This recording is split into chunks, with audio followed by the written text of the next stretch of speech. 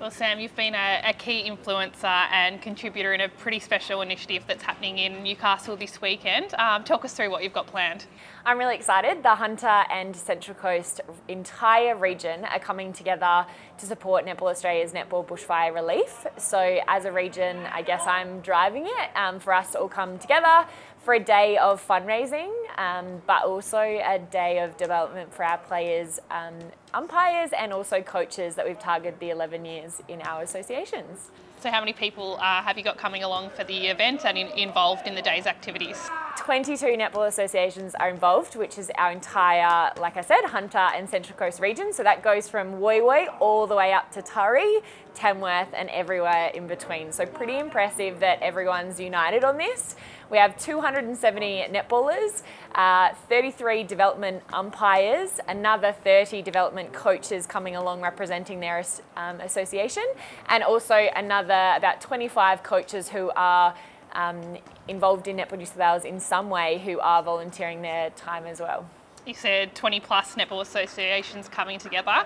Um, it takes a, a, fair bit to orchestrate an event like that, so it must be great to see everyone rally together for such a great cause. Absolutely, I think there's two folds to it. Every, everyone wants to um, get involved in Netball Australia's initiative, and for us, it's about developing our home region as well. So I think it's no one wanted to say no. They wanted to be involved in our sport and our community and our region, but also a chance to develop umpires, players, and coaches at the same time is a no brainer.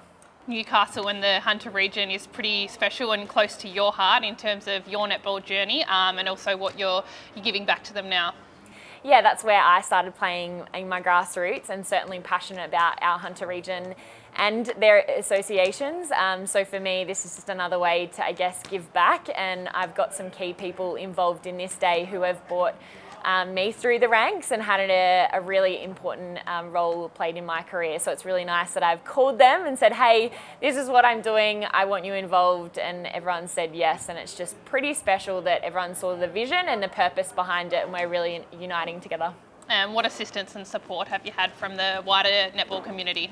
Yeah, so I guess for me, I just wanted the associations on board. And then what's blown me away is how generous businesses are, both locally and also Giants Netball in New South Wales have really got behind this event. So we've got plenty of raffle prizes that people can come along on the day and, and purchase something. We've got signed Diamonds, Giants, Swifts merch. We've also got TVs, Apple AirPods, so plenty of raffle prizes um, and a lot of support, which is really nice.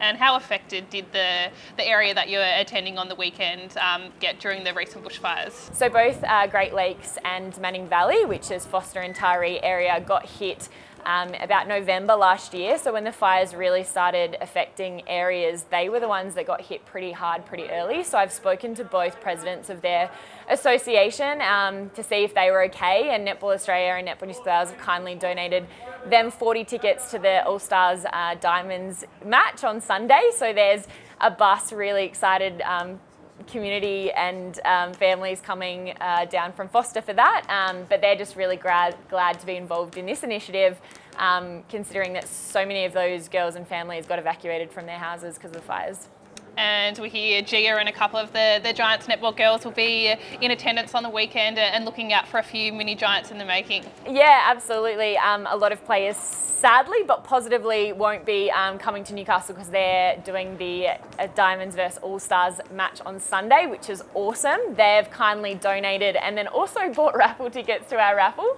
Um, but then really excited, we've got uh, Amy Parmenter coming, Tilly and Matisse, um, obviously myself, and then Gia, our mascot, is coming on the day as well. So anyone that's maybe a Giants fan, loves netball, please come down because we've got plenty of people that want to meet you. And obviously we're really excited for the season to start this year.